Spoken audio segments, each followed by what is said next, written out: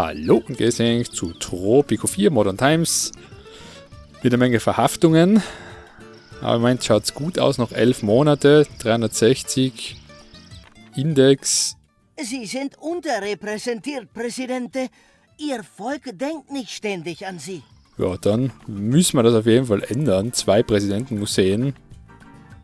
Sehe ich auch so.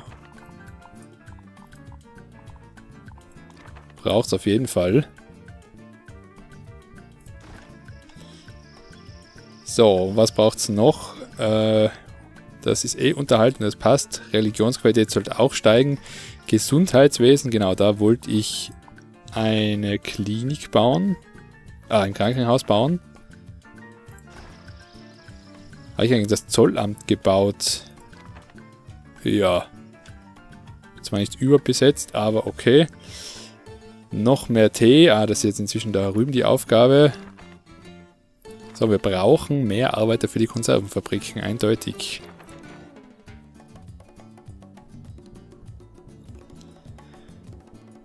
Ja, im Moment schaut es gut aus.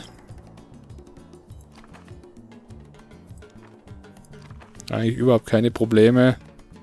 Das sollte jetzt alles steigen. Sind nur noch die Arbeitsbedingungen, wo man feilen kann. Da werden wir einfach ein bisschen übermäßig viel zahlen. Haben sie sich auch mal verdient. Und den zahlen wir sowieso am meisten. Damit sie auch hier brav arbeiten gehen. Arbeitsbedingung 55, ja okay. Die Gebäudepreise steigen um 20%. Touristen interessieren mich eher weniger.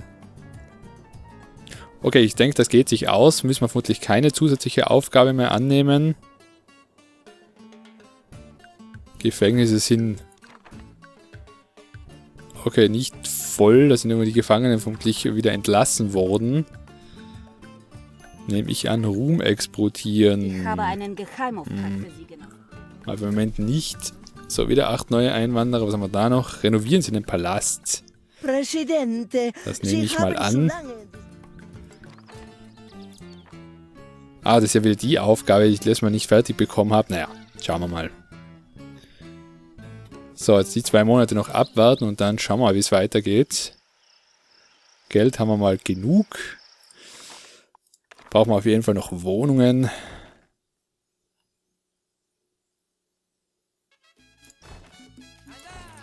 Schaut's aus mit Strom. Haben wir auch mal nachlegen.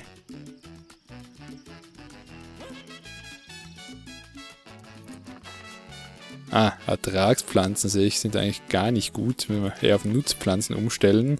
Präsidente, ich bitte Sie freundlichst, uns im Kampf gegen den weltweiten Wahn zu helfen, der alle im Griff hat. So, mit Hilfe Ihres Freundes Dr. Steinschneider bauen wir ein scharf gesteuertes Gerät zur Gedankenkontrolle. Ein scharf gesteuertes Gerät zur Gedankenkontrolle. Es wäre super toll, wenn Sie uns helfen würden. Sie haben keine Schafe, aber Ihre Loyalisten dienen grundsätzlich denselben Zweck. Nett. Loyalisten erhält man durch Alessia Nationalfeiertag, Ideologiebuch und andere und Gebäude wie die ewige Flamme und die goldene Statue. Okay, dann heißt jetzt Loyalisten sammeln und entsprechend legen wir da mal zu, äh, schlagen wir da mal zu beim Nationalfeiertag und beim Ideologiebuch schauen wir mal, alle dummen Leute werden sie für die drei nächsten Jahre nicht, äh, bis zu zehn Loyalisten, Ansehen bei der intellektuellen Sync geringfügig. Passt, aktivieren wir. Oh, haben wir schon 22. Nicht schlecht. Schnell gegangen.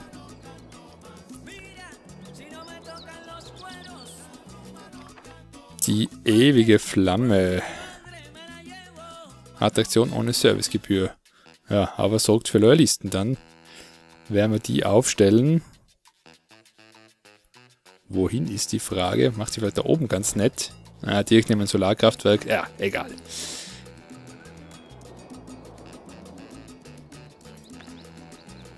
Patriotismus ist in Tropico stets kostenlos. Sehe ich auch so. Da schaut's gut aus. Sehr gut. Klinik ist auch schon in Betrieb. Super weil gerade so schlechtes Wetter ist. Äh, oh, Parkhaus überlastet, müssen wir uns auch anschauen. weil gerade so schlechtes Wetter ist, hoppala, hätte ich mir gedacht, bauen wir eventuell eine ah, Metrostationen, genau, die ich ganz vergessen, die gibt es jetzt auch.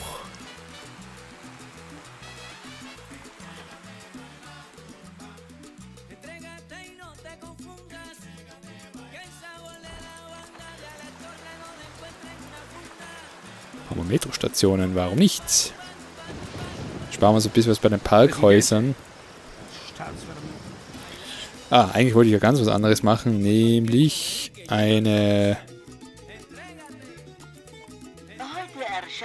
Finde ich es wieder nicht. der die empfindsame Seele unter der rauen Schale beschreibt und existenziell philosophische Themen anschneidet. Klingt wundervoll. Wie lautet der Titel? Immer schön bedeckt halten. Immer schön bedeckt halten, die Wetterstation.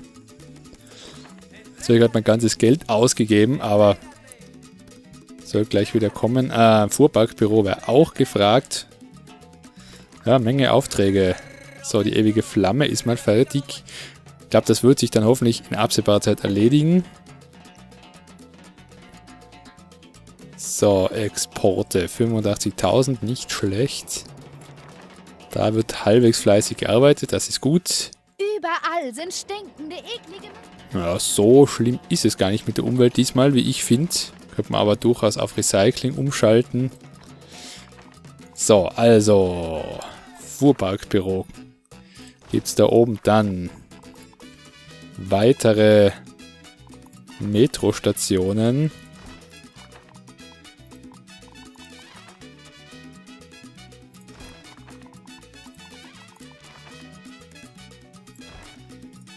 So, da noch eine. Oh, die wird... Puh, ganz schön teuer. Steigt das irgendwie mit jedem, das man baut, kann das sein? Naja, okay. Öl hatte ich mal in der Mission nicht vor. Bauen Sie einen Wachposten. Sir, Bauen Sie drei neue Wachposten. Okay, ist viel. Jetzt mal die ganzen anderen Sachen fertig bauen lassen vorher.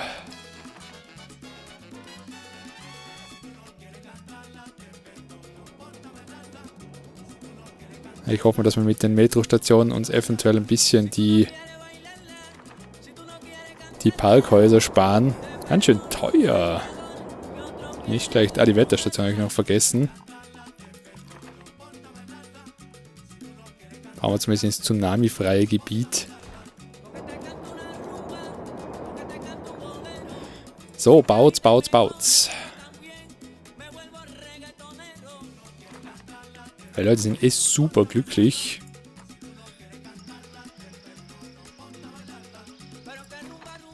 Exporte haben wir auch in Massen. So, jetzt sind schon 23 Loyalisten. Die ewige Flamme ist auch gut besucht. Ist zwar jetzt kein Parkhaus und nichts in der Nähe, aber egal.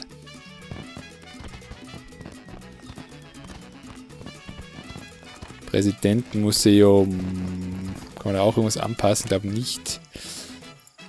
So, bildungstechnisch schaut es immer noch gut aus. Gar keine Grundschule gebaut dieses Mal. Aber egal, eigentlich fehlt man nicht. Präsidente, wir sind sehr dank... Dank... Dank... KI-Stack, Überlauffehler, bitte neu starten. Wenn dieses Problem bestehen bleibt, kontaktieren Sie die Konklavewartung. Oha. Oha, oha, oha.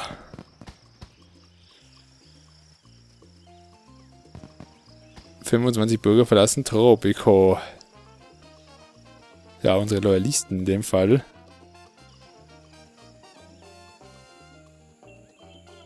Habe ich jetzt irgendwas verpasst?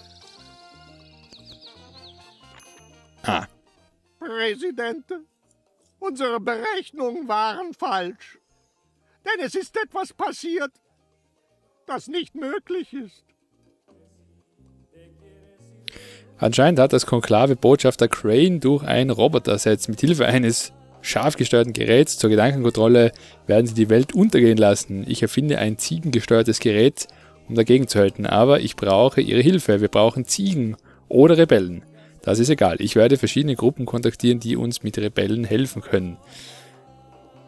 Sie brauchen zwölf Bio-Ranges und einen Rebellen. Okay, den Rebellen haben wir schon. Das heißt, wir bauen jetzt Bio-Ranches und zwar eine ganze Menge, so wie es ausschaut. Zwölf Stück gleich, okay. Puh. Bio-Range. Äh, ja, man, da werde ich jetzt relativ wenig äh, Rücksicht da nehmen auf aufs Gelände. Das ist eigentlich der Hotkey für die Ranch. Ich habe keine Ahnung.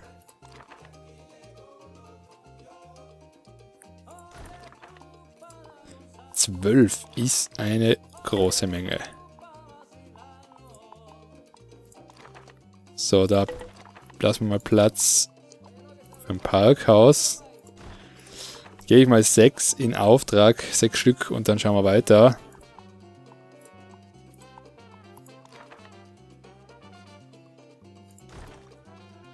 Muss erst einmal alles gebaut werden. So, was haben wir denn da jetzt alles? Noch mehr Tee. Die 66 Prozent. Wir sind die 66,66667 Prozent. Wir versuchen im Moment in die oberen 80er zu gelangen. Egal, wir sind die Mehrheit. Wir können die Gier der Unternehmen überall auf der Welt aufhalten. Leider haben sie noch nichts, was wir für einen Protest brauchen. Und wir expandieren gerade nach Übersee. Bauen Sie bitte eine Börse, damit sie, damit sie protestieren dürfen. Zwei Rebellen kommen jedes Jahr auf die Insel, bis sie eine Börse haben. Moment, muss ich das jetzt annehmen und dann kommen zwei, bis ich eine Börse habe? Vermutlich. Ich brauche aber keine, ich habe schon ich welche. bin überaus besorgt. So, was haben wir da noch alles? Rebellen kaufen. Präsidente, hier mein brandneues Angebot. Brauche ich auch nicht. Ich habe ja schon Rebellen. Dankeschön. Brauche eher Bio-Ranches. Präsidente, die internationalen Märkte sind kollabiert. Die westlichen Pech. Medien Ja, eigentlich die ganzen Aufgaben, die da jetzt rumfliegen, brauche ich alle irgendwie nicht. Mir geht's eigentlich bestens. Der Index ist auch noch okay. Ja, von dem her. Ablehnen mag ich sie jetzt auch nicht. Wer weiß, vielleicht brauche ich es noch für irgendwas.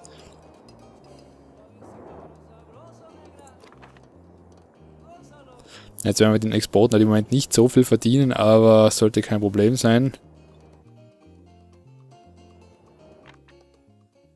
Präsidente, meine Organisation hat sich Ihre Kontoauszüge angesehen.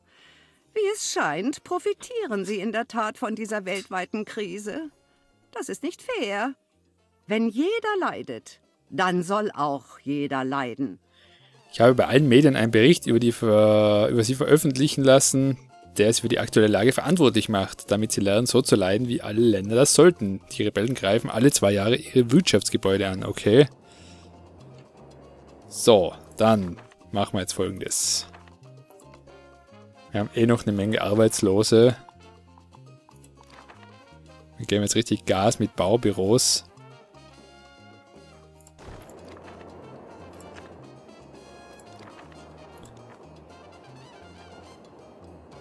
Machen die eigentlich gerade?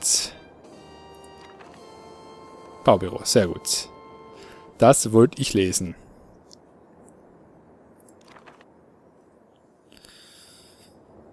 Okay, ja. Die ganzen Bio-Ranches.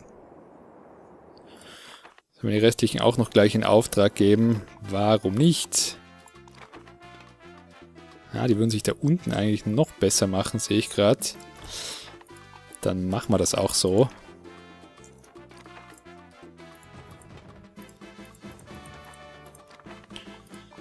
Hälfte oben, Hälfte unten.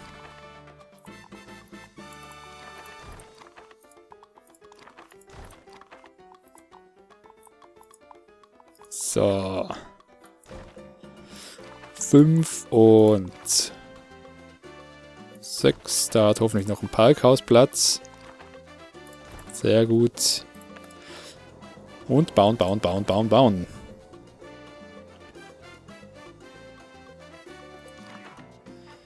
Bitte.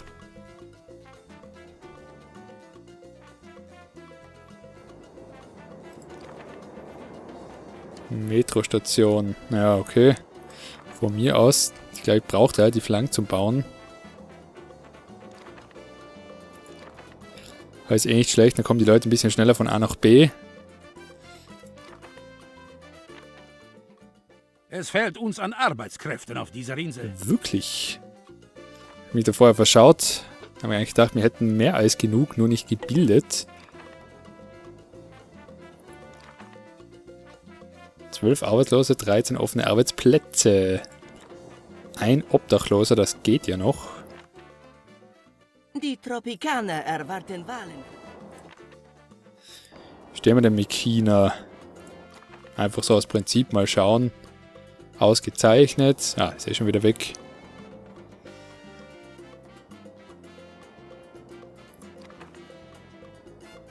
So, jetzt. Ja gut, die Wetterstation, die stelle ich auch noch auf hohe Priorität. Das könnte lohnen. Das können wir auch fertig bauen.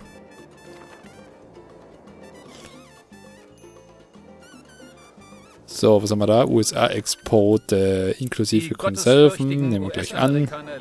2000. Puh, viel.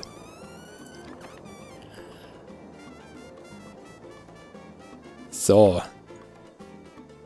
Ja, auch nie angeschaut. Die Zusatzeinstellungen bei der Metrostation sind ja auch ganz witzig. Tourismusindex erhöhen, Tourismusindex senken. Dafür Immigranten. So, da werden wir jetzt nicht geizig sein und gleich alles kaufen, dass wir da vorbereitet sind. Präsidente, unserem Wirtschaftsminister ist es gelungen, eine Ladung... Handelspreise steigen, super.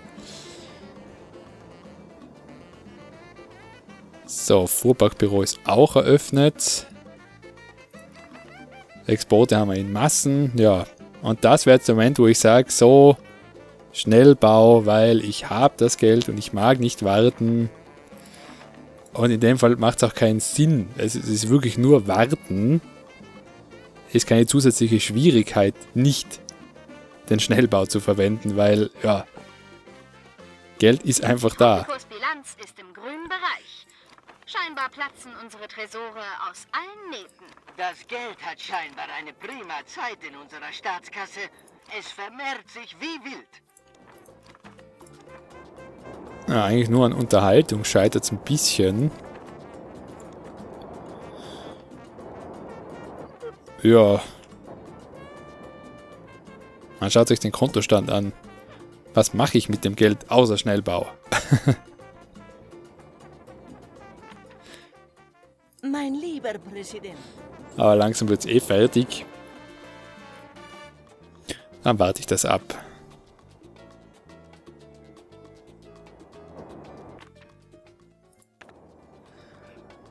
Okay. Baubüros haben wir eh drei Stück, dann soll das halbwegs schnell gehen. Der Rest ist ja fertig. Und falls die Mission dann nicht eh bald vorbei ist, bauen wir wieder Wohnungen und Unterhaltung möchte ich auch noch machen, weil wenn wir jetzt hier schon so super gut unterwegs sind, kann ich jetzt die Unterhaltung natürlich auch noch in den grünen Bereich bekommen. Keine Frage. So, drei sind fertig.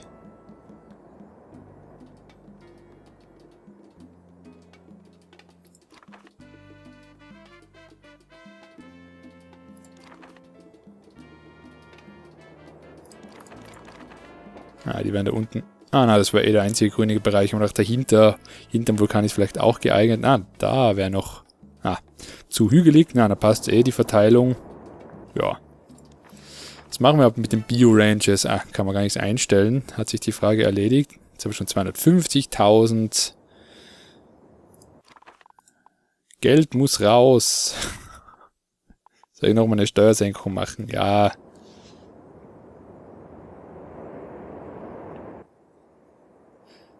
So, vier Ranches.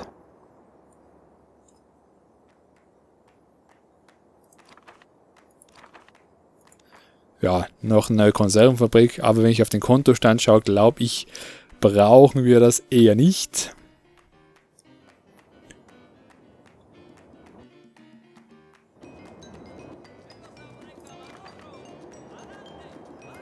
So, jetzt wird der gearbeitet. Sehr gut. Die ist auch fertig. Gleich geschafft. So, Kriminelle. Sollen wir, sollen wir in der Zwischenzeit ein paar Kriminelle verhaften? Könnte man eigentlich machen. Haben wir denn? Ja. Gefängniskapazität haben wir.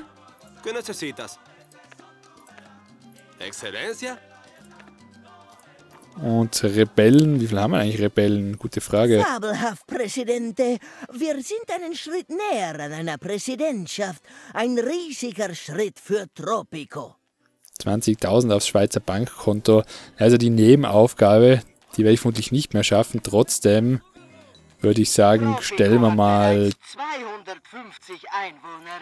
Wir mausern uns zum China der Karibik. die Einnahmen des Präsidentenmuseums zumindest mal fürs Schweizer Bankkonto. Vielleicht kommt ja noch irgendeine Nebenaufgabe. Die möchte ich gerne mal fertig machen. Bin gespannt, was da die nächsten Schritte wären.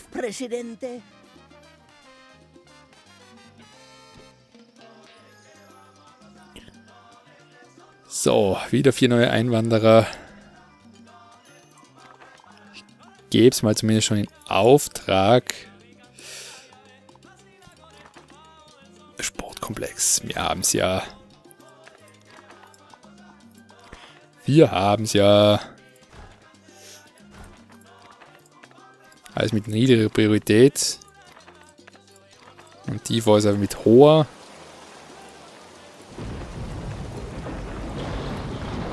So, wir sind jetzt fertig. Acht Stück. Gleich, äh, sieben Stück plus der Rebell. Vielleicht da dazu gezählt. Wenigstens arbeiten meine Leute, wenn es regnet. So. Ja, komm, wir haben das Geld. Das muss raus. Von dem her kein Problem.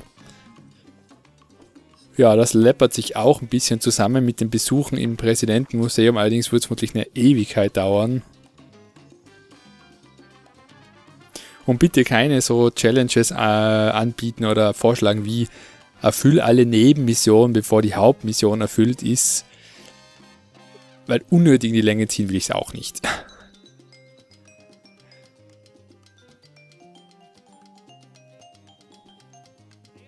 So, noch drei. Bin dauernd so am Schnellbau-Button, aber nein, nein, nein. Ich verwende ihn nicht.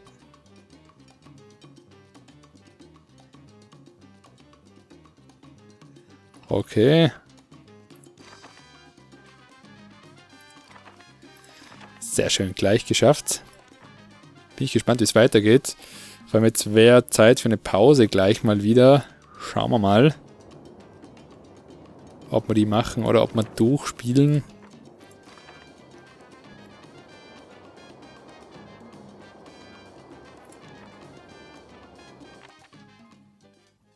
Präsidente, wir brauchen mehr Energie.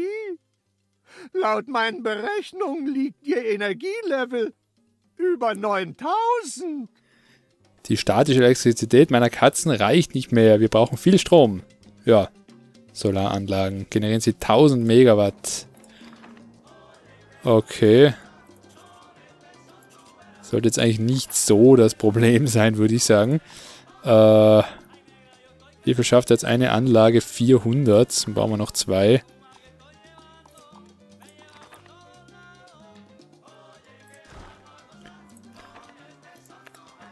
So. Ja, jetzt ist die Frage, soll ich jetzt eine Pause machen oder nicht? Ja, mache ich eine und falls die nächste Folge zu kurz ist, sprich nur ein paar Minuten, hänge ich sie einfach an diese direkt hinten dran. Das heißt, ich verabschiede mich jetzt und dafür äh, und äh, in Folge äh, begrüße ich euch dann in ein paar Sekunden wieder. Also dann, alles Liebe, alles Gute, bis zum nächsten Mal. Tschüss, ciao, Denk und Baba. Hallo und sind zurück zu Tropico 4 Modern Times. Wir sind gerade dabei, ein bisschen Strom zu produzieren. Und falls es euch interessiert, das Spiel ist wieder abgestürzt und zwar äh, in etwa ein, zwei Minuten, nachdem ich hier diese Aufnahme gestartet habe. Und es ist wieder alles weg, das Profil ist wieder kaputt. Äh, ja, Bisschen anstrengend, seltsam, das war echt früher nicht. Das ist jetzt zweimal hintereinander. Bisschen auffällig. Keine Ahnung, an was es liegt. Ah, Verteidigungsminister gestorben, ja, das war letztes Mal auch schon. Also in der vorherigen Aufnahme. Ja, was soll ich machen? Und zwar ist es abgeschmiert, wo die Aufgabe mit der Elektrizität fertig war. Da hat sich der Penultimo gemeldet und dann Peng, Spiel weg, Profil auch weg. Präsidente, unser Außenminister hat einen diplomatischen Zwischenfall provoziert. Er hat bei einer Sushi-Party des japanischen Botschafters eine Gabel benutzt. Feuern Sie mich oder die Beziehung zu allen Mächten fällt um 10. Wisst ihr was? Der soll seinen Job behalten, das ist mir jetzt egal. So, Strom. Präsidente, beide Geräte zur Gedankenkontrolle wurden zerstört. Der verrückte Wissenschaftler ist dabei umgekommen. Er hat uns in der Vergangenheit viel geholfen. Das ist ein großer Verlust. Das amerikanische Oberkommando wurde vom Einfluss des Konklaves befreit. Im Kampf gegen das Konklave haben sie uns ihre Treue geschworen. Ja, und der verrückte Wissenschaftler gestorben. Schade, schade, der wird mir fehlen. Ah, super, und es ist natürlich vorbei. Diese bösen Organisationen und die ultimativen Waffen? Ich bin vielleicht ein Diktator, aber ich erkenne keinen Sinn darin, viel Geld für ein bestenfalls fragwürdiges Ergebnis zu investieren. Das Konklave hat sein neues Spielzeug eingesetzt, um die USA zum Auslösen des Dritten Weltkriegs zu zwingen. Ein Gerät zur Gedankenkontrolle. Dank des brillanten Dr. Steinschneider konnten wir die Konklave letztendlich zerstören. Leider hat die Explosion auch das Leben des guten Doktors gefordert. Er war ein seltsamer, aber mächtiger Verbündeter. Wir werden ihn vermissen. Ja, werde ich auch. Und da die Mission, äh, die Aufnahme so super schnell vorbei war, hänge ich das natürlich an, direkt an die letzte. Zwei Minuten Part wäre ein bisschen heftig. Ja, kurze Zusammenfassung. Hat mir sehr gut gefallen, die Mission. War im Endeffekt dann nicht allzu schwer, aber mit den Challenges, mit den selbst auferlegten, zwischendrin auch mal spannend. Passt, freue ich mich auf jeden Fall auf die nächste. Wünsche alles Liebe, alles Gute. Bis zum nächsten Mal. Tschüss, ciao, Pferd und Baba.